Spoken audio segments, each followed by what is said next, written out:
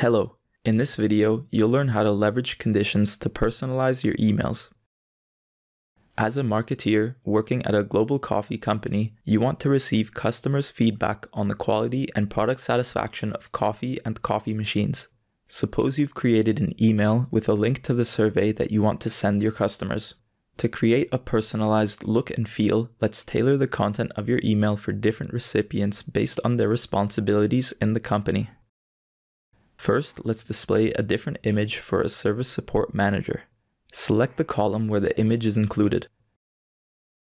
Depending on the recipient's contact or interaction data, you can display content using conditions.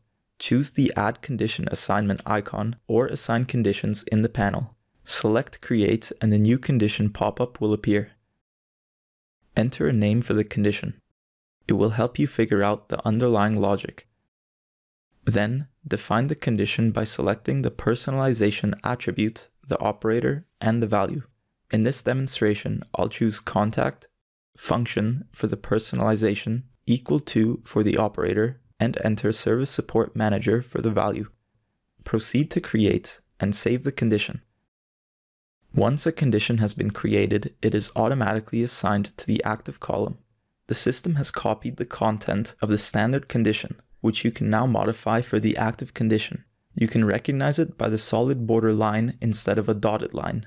An icon is now available to remove the conditions and the condition's name is displayed. Now let's change the image to match the condition we've just created. Click on the image and search for the image you're looking for. I'll choose the coffee maker image for the email for a service support manager. Now you need to understand the logic behind the condition assignment. Service Support Manager is the condition assigned to the active column with the image. The condition for the Service Support Manager is currently selected.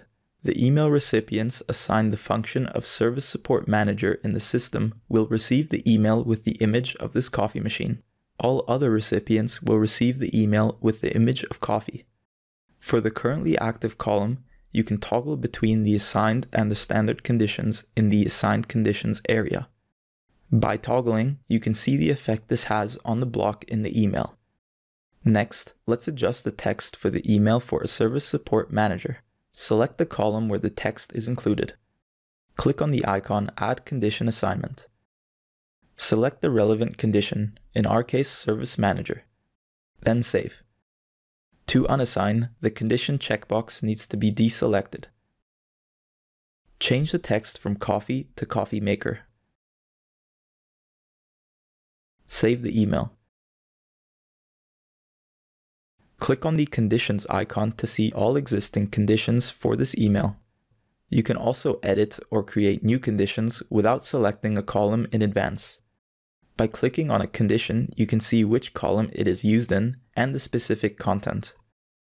You can use personalized preview to see how the conditions are displayed in your email. Enter values for the personalization attributes used in the conditions, such as first name or contact function.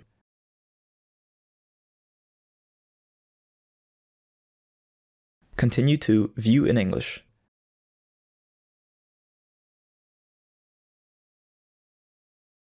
With further refinements of the condition, the content can be adapted even more specifically to the interests of the recipients. Let's enhance the condition for the Service Support Manager using items of interest as a multiple value personalization attribute. Click the pencil icon to edit. Click Add. Choose Item of Interest for an attribute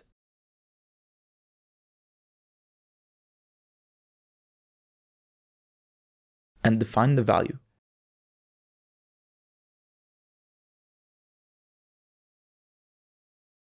Continue to add the second item of interest. When an email is sent, the conditions are evaluated.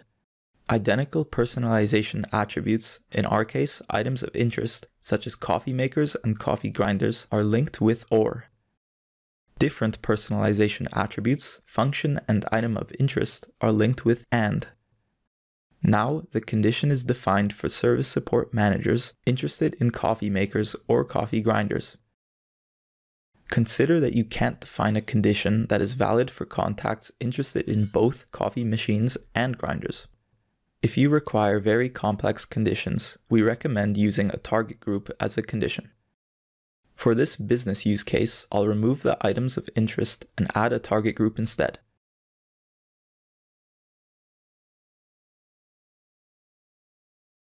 For example, this.